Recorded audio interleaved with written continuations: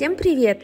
Меня зовут Нина Заславская, и сейчас мы направляемся в Чебоксары, чтобы рассказать вам реальную историю, как люди добиваются своих целей, преодолевают страхи и исполняют мечты. Сегодня я хочу познакомить вас с топ-мастером и тренером нашей студии в городе Чебоксары Ольгой Осиповой.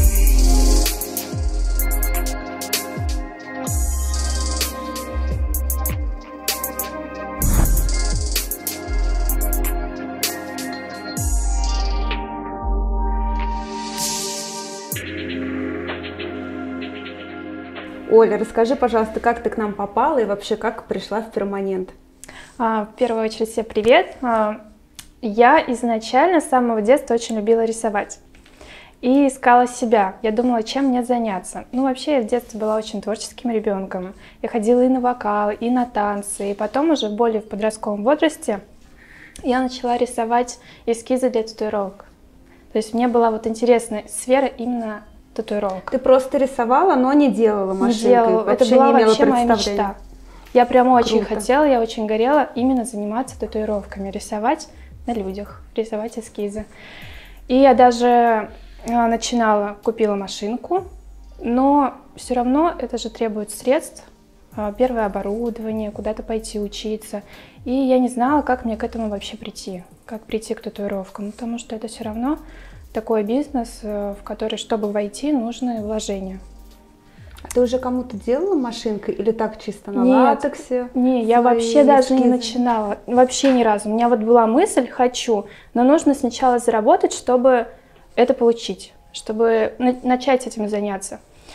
И я просто искала подработки, работу какую-либо и нашла на ХХРУ вакансию администратора в перманент эксперт. Я вообще понятия не имела, что такое перманент на самом деле. Я сюда пришла просто работать административной работой. И зарабатывать на, обучение да, татуировки, да? Зарабатывать на татуировке. И получается, меня как-то сразу взяли, и я изнутри узнала, что такое перманент. А потом а, девочки видели, что я хорошо рисую, мастера, и говорят, Оль, давай, типа, попробуй, попробуй, у тебя получится. И у нас девочка как раз уходила, а, вакантное место появилось, и она меня посоветовала вам. Да, я помню, ты мне написала, а можно я попробую, я пока да. потренируюсь на латексе. Да, да, и да. у тебя такие классные работы сразу стали получаться. Все-таки, да. когда есть художественное образование, сразу а, чувствуется. И мы, получается, встретились в Казани уже, познакомились, и двухнедельный курс прошла обучение перманентному макияжу мастером. А вообще, когда мне дали шанс, а, вот, когда вы мне сказали, что да, давай попробуем, приезжай в Казань. Но это было прям, ну, не сказать, ну, как шок, наверное, я такая не могла поверить. Оля, расскажи, пожалуйста, с какими трудностями ты столкнулась, как начала заниматься перманентом? Было ли такое, что ты думала, ой, зачем я пошла, сидела бы администратором, как раньше? Расскажи. Да, было. Это еще началось с момента обучения. Мы жили вместе вдвоем с девочкой, и мы когда приходили в квартиру, после уже обучения, мы такие, господи, завтра опять эти брови делать. Ну, у нас не получалось, и нам было страшно, мы прям очень боялись этих моделей. И потом уже вот в течение полугода, когда мы уже прошли обучение, я вернулась в Чебоксары, было, конечно, и страшно, и тяжело. А, ну, потому что где-то какие-то знания теряются, все в кучу, и ты начинаешь потихонечку, потихонечку разбираться. И вот первые полгода я помню, что у меня даже опускались руки, я такая думала, что, наверное, это не мое, мне это не идет, мне, мне это не нужно. И мой молодой человек меня поддержал, говорит, «Э, не сдавайся, продолжай, пробуй. И вот э, точно, что я могу сказать, если тебе что-то нравится, что-то тебя вдохновляет, все получается не сразу, все получается постепенно. Невозможно вот хоп и все сразу идеально. И многие вот девочки с обучения тоже боятся начинать работать и говорят, ну вот, мне не получается, пишут мне, что у меня не все выходит, и я всегда успокаиваю их тем, что у меня тоже все было сначала не идеально. И я также.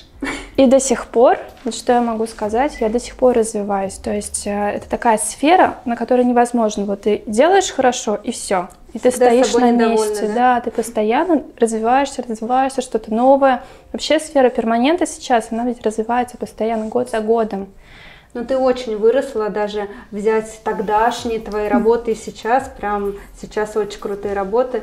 И это показатель, Спасибо. то, что ты всегда над собой работаешь, и ты очень так критично относишься к своим работам. Ты очень ответственный человек в этом, наверное, такие именно люди нам и нужны в перманенте. Ну да, сто процентов. Я вот э, за то, чтобы всегда развиваться. И, ну да, действительно критично и к работе, и вообще ко всему в жизни своем, и ко внешности. Нет, на самом деле, вот как ты сказала, на первоначальном этапе опускались руки, я тоже вспомню себя там 9 лет назад, когда я села за первую процедуру, у меня вот так вот тряслись руки, я думаю, господи, зачем мне все это вообще надо, что я делаю? А потом я выдохнула, потом вторая модель уже легче, третья еще легче. Я помню, вот после пяти человек меня прям так отпустило, я почувствовала такую легкость, уверенность. Вот у тебя сколько человек прошло, ты не помнишь, когда ты думаешь, ой, я все могу? Ну, я помню, что вот первые вот именно полгода мне было страшно. Вот, ну, то есть я над собой работала, я боролась со своими страхами. Вот, вот помню, что полгода это было. А потом уже через полгода я начала себя увереннее чувствовать, уже как рыба в воде, можно сказать. И мне стало легче, действительно. Я просто видела развитие своих работ, как они мне становятся лучше. Мне уже начинало это нравиться, и, соответственно, я стала себе увереннее. Оля, расскажи, почему ты осталась работать в студии, а не ушла работать на себя в свободное плавание? Ну, в первую очередь, э, когда я начинала работать, все равно у тебя еще каша в голове, недостаточно каких-то знаний, и у тебя есть более опытные мастера, которые тебе как-то подскажут. И вот был, помню, смешной случай. А, я только обучилась, и вроде бы самая простая процедура межресничка, да, а я просто не знаю, как ее красить. Ну просто все, ну у тебя страх, вот тебе нужно начинать работать, а тебе же страшно, тем более это глаза. И все равно помогают мастера, которые рядом. То есть это уже как команда и поддержка в то же время. И вот девочки, которые у нас обучаются, идут в свободное плавание работать, э, многие, а, вот как я заметила, перестают работать, то есть забрасывают. Вот как у меня было первые полгода, мне было страшно угу. в первую очередь, и мне не получалось все сразу. Нет. Да, мы как бы все равно с ними поддерживаем связь, но в любом случае э, классно, когда у тебя поддержка, именно когда ты работаешь в студии. То есть ты можешь в любой момент позвать мастера, и она тебе подскажет, что mm-hmm. как сделать. А тут девочки работают на себя, уходят работать на себя, и у них нет этой поддержки, и они забрасывают это дело. Вот это неправильно. Не нужно никогда опускать руки, всегда нужно продолжать работать. И самый главный совет, который я могу сказать, это нужно постоянно тренироваться. Просто согласна, опыт согласна. свой набирать опыт. И еще один плюс то, что работа именно в салоне, потому что здесь есть поток клиентов. И это очень важно, когда ты только обучился и уже начинаешь работать с клиентом. То есть отрабатывать свои навыки вживую, не только на латексе. И благодаря этому ты быстрее развиваешься, быстрее начинаешь свои работы улучшать, опыт получаешь, неимоверный опыт. А когда ты работаешь на себя, все равно привлечь клиента к незнакомому мастеру, у которого мало работ, тяжело, достаточно сложно. Тем более сейчас, когда сфера перманентного макияжа стала очень популярна, то есть многие обучаются. А вот скажи, сейчас на данный момент сколько процедур ты делаешь в месяц? Ну, максим... ну это, конечно, число неопределенное, то есть плюс-минус, э, самая, наверное, высокая цифра 130 процедур. Ого! Да, около 130. Но это нужно прям целый месяц с утра до вечера работать. У тебя два работать. выходных в неделю, да? да? При ну, этом... У меня в месяц 6 выходных получается только. Но зато 130 процедур. Да. Это очень круто. Ну, пожаловаться не могу. Это здорово. Но, конечно, когда ты доволен своей работой, все равно работает сарафанное радио. Сарафанное радио самое эффективное, да. как мы обсуждали в предыдущем интервью тоже со спикером, что сарафанное радио все-таки самое эффективное в нашей сфере, и ничто так не работает, как сарафан именно. Оля, расскажи, пожалуйста, про свои достижения и как ты выросла за это время. В прошлом году мы посетили чемпионат э, Интерперманент, всероссийский чемпионат, э, в котором более 300 участников было. И мы очень долго к нему готовились, на самом деле. Это было очень волнительное Я помню, событие. как мы готовились. Это было очень волнительное событие. И а, на самом чемпионате я участвовала в двух номинациях. первая номинация, я долго не могла найти кушетку, то есть ходила ее искала, и все уже как-то пошло не, не по плану, все пошло не так. И со второй номинации у меня машинка не включалась, и я как-то даже была расстроена, но по итогу все усилия были не зря. Я заняла первое место в чемпионате в следующем России. Году, да. правильно? Тогда ты заняла, по-моему, четвертое, пятое место. Немножко не дотянула. Но в этом году мы же дотянули. Дотянули. А то я да, в этом, тебя. Да, в этом году мы дотянули. Я заняла первое место на чемпионате России. И это, на самом деле я этого не ожидала, потому что я говорю, мне все опять пошло не по плану. Но я безумно рада. И я помню вот сообщение от вас, э, Оля, первое место. это, конечно, было вообще незабываемо. Да, вы можете, кстати, посмотреть, перейдя по ссылочке, как мы получили столько кубков. И самый главный кубок – это именно ее.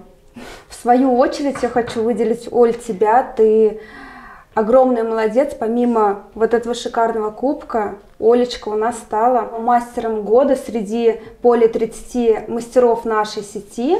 А все благодаря волосковой технике, которую она выполняет. Она выполняет большее количество процедур из всех. И я думаю, как раз-таки поспособствовала эта новая техника. Да, у вас, по-моему, никто ее не делает, согласна. кроме тебя в городе. Да, согласна. Она набирает прям популярность, потому что вообще сфера сейчас именно перманентного макияжа, она развивается в ту степь именно естественности, натуральности. И многим хочется попробовать что-то новое. То есть вот эту вот пудру делают все. А волоски, ну, вообще мало кто, поэтому... Ну, сложно волоски, скажи честно. Ну, честно, вначале было не просто разобраться, а на самом деле все просто. Если вот понять технику, все очень просто. Вот, ну, ничего сложного в этом нет. Зато действительно, когда транслируешь волоски, вот как ко мне сейчас на пудру вообще не идут, все волоски, волоски, да. у тебя так же? Да, согласна. Одни все волоски? хотят волоски, да, всем хочется поестественнее, чтобы не было заметно. И все боятся чересчур яркости, Всем хочется более да, натурально. это тренд последнего года, сто процентов согласна. Согласна, да, полностью. А сейчас мы покажем вам материальные достижения Оли и перемещаемся в другую локацию. Мы уже в новой локации, и я хочу вам показать главное Олина достижение, к которому она пришла, работая в перманенте. Олечка, расскажи, пожалуйста, как долго ты к этому шла? А, но чтобы приобрести свою квартиру, я шла примерно к этому два с половиной года работая прям усердно каждый день. ну, соответственно, и процедур у меня достаточно много, и заработок соответствующий. А сколько ты зарабатываешь, если не секрет? А, ну, всегда по-разному, но обычно от 100 тысяч и больше. Все зависит, конечно, от процедур в месяц.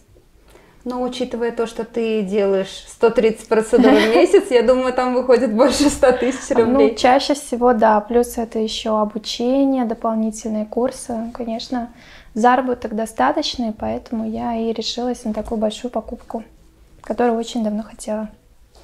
Расскажи, пожалуйста, о своей семье. В какой семье ты выросла? Прям очень интересно. Ну, я не из богатой семьи, даже не из семьи со средним достатком. То есть у нас в основном работала мама, когда мы с братом в школе учились.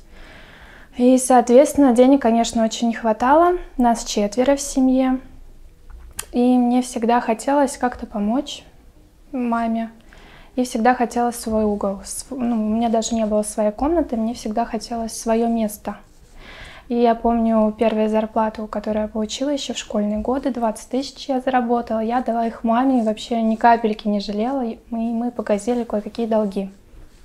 Э, и ну, покупка квартиры, это, наверное, была моя самая важная первая цель которую я прям очень сильно хотела, но мне в нее как-то не верилось, если честно, потому что это очень большая покупка, это абсолютно не маленькие деньги, и я безумно благодарна за шанс, в первую очередь, который мне дали, и то, что я таких высот достигла. А я очень горжусь, что рядом со мной именно такие люди, которые горят своим делом, и, соответственно, получаются такие результаты. Я думаю, родители тобой просто безумно гордятся, и мне кажется, они немного в шоке, что такая маленькая хрупкая девочка добилась таких высот и купила уже свою квартиру. Ну, я, конечно, не перестаю им помогать, и вот в этом плане то, что я могу помогать маме, э, ну, это вообще невероятно.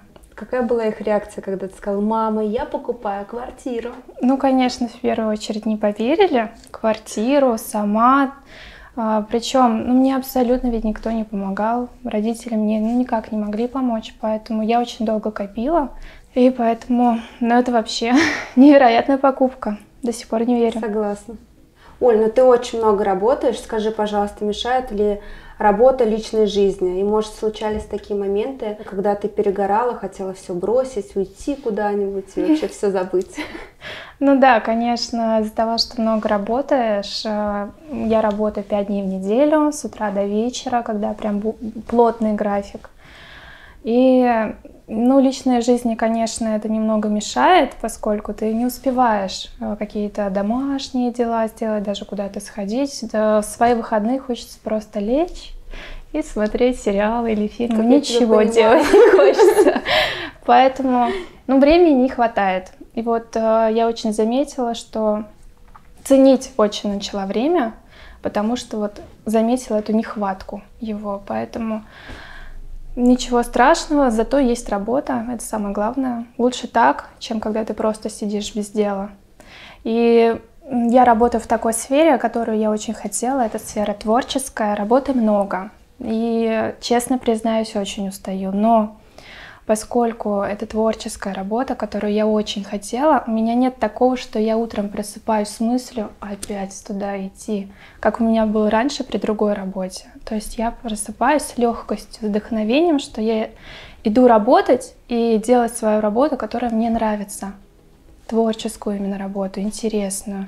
Поэтому в этом плане э, я с легкостью работаю, но она мне абсолютно не в тягость. Ну и последний вопрос каверзный, сразу говорю. Скажи, вот мне очень интересно, первые цели такой глобальной ты уже добилась, покупка квартиры. А есть уже появилась какая-то вторая глобальная цель? Да, это личный транспорт, машина. Какая-то определенная или пока просто? Нет, это не определенная машина, она точно крутая. Ну, в следующем году я уверена, что мы снимем выпуск Волиной машине. Красной, я запомнила. Ну а мы с вами увидимся в следующем выпуске. Ставьте лайки, подписывайтесь на мой канал, пишите комментарии. До скорых встреч. Пока-пока.